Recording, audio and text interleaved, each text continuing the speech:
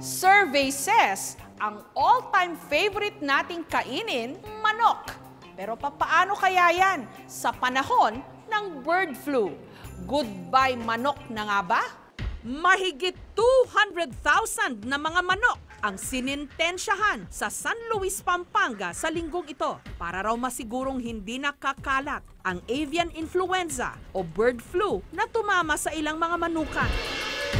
Ang bird flu, viral infection ng mga ibon, kabilang na ang manok, itik at pugo, maaring nakuha mula sa migratory birds. Posible rin daw maipasa sa mga tao sa pamagitan ng direktang paghawak sa ibon na meron nito. Pero paglilinaw ng mga otoridad, hindi na ipapasa ang bird flu sa pamagitan ng pagkain ng manok o ng anumang hayop na meron nito dahil ang virus namamatay kapag naluto na. just in case makabili sila na hindi nila alam na may sakit, lutuin lang ng maigi 60 to 70 degrees uh, Celsius and uh, in 2 to 3 minutes, then that should be sufficient to kill the virus. Sa kabila nito, tila marami pa rin ang takot kumain ng manok. Umina po yung benta namin. Eh, ayaw nga nilang bumili, sir, kahit sabihin natin murang manok kasi baka may bird flu na. Umiwas po muna kami sa manok. Ano lang po muna kami yung karning baboy gulay. Baka po kasi mawa kami sa ano eh, sa sinasabi po nilang bird flu ngayon. Para naman patunayang walang dapat ikabahala ang mga chicken lover, nagsagawa ng salo-salo sina Agriculture Secretary Emmanuel Piñol at iba pang mga lokal na opisyal ng San Luis. Ipinakita nilang sarap na sarap sila sa fried itik, chicken lugaw at balut. Dito sa barangay sa munisipyo ng Tibiao sa Antique, patuloy nilang inihahain ang tradisyonal nilang luto ng manok, ang papisik. Yung papising actually used to be a dying na, na food culture na gusto na naming i-revive ngayon at i-promote. Dahil ito ay isang pagkain ng mga Irainon Bukidnon. Ang papisik ay salitang karaya ng ibig sabihin pagtalsik. Dahil pottery ang pangunahing hanap buhay ng mga Irainon dito sa Antique, gumagamit sila ng kuron o yung makalumang palayok sa pagluluto. Dito ibubuhos nila ang asin at saka pauupuin ang manok na pinalamanan ng tanglad at iba pang herbs at spices. Paaapuyan ang kuron Kapag uminit na, tumatalsik ang asin na nagpapalasa raw sa balat ng manok. Concept po ng asin at saka kuron is uh, basically parang i-roast or lulutuin yung native na manok. Dahil di ba yung, yung meat ng manok is medyo not as tender compared sa broiler. Iba po yung impact pag sa kur- kuron siya or sa palayok. Uh, through the aid of the asin, the steam of the salt po, at saka yung talsik-talsik. Masarap siya tapos parang may natural flavor siya kasi native yung manok. Tapos medyo maasim-asim. Limang oras naman mula sa Antique, matatagpuan ang bayan ng Leon sa Iloilo kung saan matitikman din ang isa pang espesyal na putahe ng manok. Dito sa lugar na tinatawag nilang Little Baguio, malamig ang klima. Kaya ang perfect pampainit, sabaw. At ang naisip nilang isahog, bisayang manok para sa lutong linagpang nga manok. Ang bisayang manok, inihaw muna kasabay ng iba pang mga sangkap katulad ng kamatis, sibuyas, luya at bawang. Ngayon, imay-imayin natin itong manok para mas masarap at madali kainin. At saka lulunurin sa sabaw na may gata ng nyog. Sa init ng sabaw, talaga namang mapapawi raw ang lamig. Medyo asim, manghang. Masarap siya.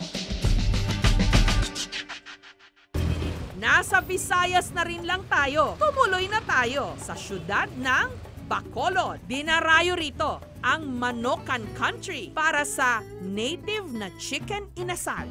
Isa pa raw sa mga dapat dayuhin para sa mga naghahanap ng murang food trip, ang Lacson Street. Sir, oh, sir, oh. Kung saan hile-hilera ang mga food stall 50 pesos lang. Meron ka ng chicken inasal at dalawang cups ng kanin. Ang ibang stall, only rice, ang alok. Isa sa mga dinarayo ang inasal ni Kuya Marcus. Maliban sa manok, patok din ang kanilang chicken oil na isinasabaw ng mga kumakain sa kanin. Nakakaubos nga raw sila ng 30 liters ng chicken oil kada linggo. Ganon kadami sir, parang sinasabaw na ginagawang sabaw yung chicken oil natin. Kaugalian na dito, pag wala kang chicken oil, malimit, maghahanap. Sa isang manok, pwede tayong makakuha ng dalawang breast, dalawang thigh, meron tayong wings, at saka merong the rear part, yung tawag dito isol, at saka yung liig.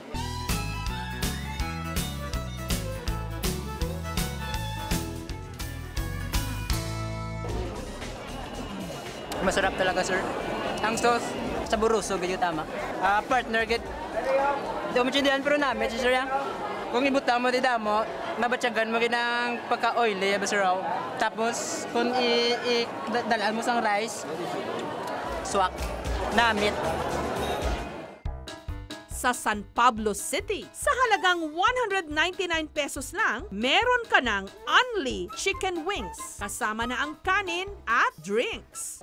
120 kilos daw ng manok ang kanilang naibibenta rito araw-araw sa iba't ibang timpla nito. Cheesy, flaming cheesy, buffalo, Korean soy, honey barbecue, humba, sweet and sour, at sweet and spicy wings. Ang may ideya raw nito, ang 20 anyos lang na si JL. Naisipan daw niya ito bilang pagpupugay sa kanilang yumaong ama na mahilig daw sa manok. Nung buhay pa si Daddy, mostly ang kinakain namin ay chicken meat since meron siyang uh, diabetes, so kailangan namin maging healthy and fit.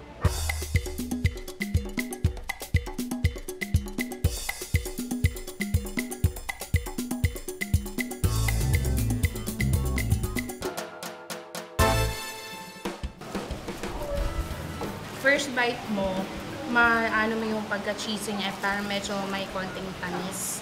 Then later on, kung mahilig ka sa spicy na food, lumalabas na yung pagkaanghang niya. Ang mga tiga-angono sa Rizal, walang takot sa bird flu. Business as usual pa rin sa kanilang fried itik lane kung saan hile-hilera ang mga nagbebenta ng itik street food. Isa sa mga nagbebenta, si Aling Corazon na pinag-aralan pa raw ng husto ang tamang pagpiprito ng itik. Ito po ang pamamaraan ng pagluluto ng fried itik. Minta. Lalagay na natin ang itik. Ayan. Pwede na natin iprito ang itik.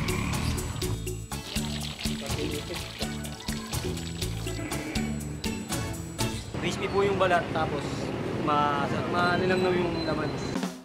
Bumibilang na sa halos apat na dekada ang kanyang negosyo. Araw kasi magdaragat yung mister ko. Wala nang mahuli sa dagat na isda, kaya naisipan namin mag-fried itik. Hindi ako makumbinsi ng mister ko sa pag pag pagtitinda ng itik kasi sabi ko wala namang alam tayo sa pagluluto eh. eh tinuruan kami ng tiyuhin niya na uh, binigyan kami ng recipe.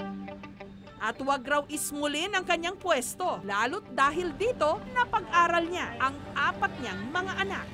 Sa simula, ano lang, mahina. Eh, nung habang tumatagal, unti-unti nagkakaroon kami. Unang nagiitik pa kami, kakapagpundar kami ng lupa na hinuhulugan lang namin. Tapos habang tumatagal, mga anak ko naman nakapag-aral, nakapagtapos na rin ng pag-aaral silang apat.